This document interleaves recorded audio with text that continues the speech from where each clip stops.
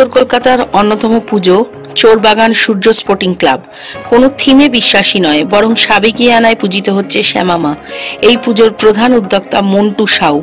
আমাদের চ্যানেলের পক্ষ থেকে দীপান্বিতা শিরোপায় ভূষিত হলো এই পুজো। খুশি আমরা, এত আনন্দ আমাদের প্রত্যেক বছর বছর মানে এরকমই আমরা পেতে থাকি আমরা। মানে আমাদের এত মানে আনন্দ মানে কি বলব, কাল থেকে আমাদের আনন্দ তো মনের ভেতরে এরকম কাল থেকে ঠাকুর যতক্ষণ ধরে এসছে মানে তখন থেকে আমাদের মধ্যে সব নাচ গান সব চলতেই থেকে সেখানে এত এনজয় করছি আমরা বলতে পারবো মানে কি বলবো মানে এটা বলার কোনো মানে মুখে কিছু আসছেই না মানে এত আমরা আনন্দ খুশি আমাদের মা যে এত আমাদেরকে আনন্দ দিয়েছে এসে মানে আমাদের মানে কিচ্ছু বলার আর মানে মুখে কিছু বেরোচ্ছেই না আর কি বলবো আপনাদের সামনে अच्छा लग रहा है हमेशा मूर्ति भी बड़ा होता है अगले साल भी बड़ा होगा और ये थर्टी एट ईयर रनिंग है और हम लोग को बहुत अच्छा लगता है पूजा करके এই বছর আমাদের থার্টি এইট ইয়ার্স রানিং চলছে আর থিমটা আপনারা দেখতে পাচ্ছেন।